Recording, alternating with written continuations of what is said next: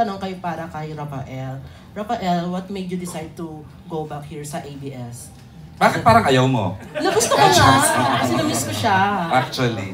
Ralph, hindi pa tayo nagkakausap. Sige nga, what's yeah, the reason? actually, um, I, as you all may know, lumipat ako sa kabila to explore. Yun yung reason ko talaga, to Mhm. explore yung buong showbiz bago ako tumandag dahil gusto ko talaga ma-experience yung buong field. Um, working with the best channel for the longest time, sabi ko, it was time to look at showbiz from a different perspective naman. And uh, I think the six years na nasa GMA ako, I, I fulfilled what I wanted to explore at uh, wala, it's as simple as wanting to come back home. And now that I'm home, I'm really happy how things are done here and I've, I've missed this channel a lot. So, Actually, Raf, things are going great for you. Di ba Yeah. yung MMK mo, one of the highest Yeah, rated? yeah. Sobrang blessing talaga yun and I'm really thankful sa lahat ng mga sumuporta at nanood ng episode na yun. Um, I didn't expect that. Uh, I came to the set na parang inisip ko, hala, rom-com.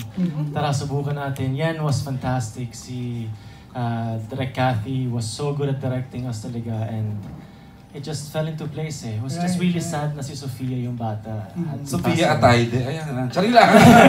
yeah, so so uh, yeah, she worked. I think she was an angel Right. watching over us while taping talaga. Ay, correct. That's the When it and when it aired, kaya yeah, just really honored talaga. Mm. And then ito, sobrang taas din ng ratings Correct. kagabi. Congrats. And Thank you so he much. also has another te- a primetime teleserye coming very, very soon from another unit. Congrats! It's a good, Thank you so much. It's It's a good Such a comeback.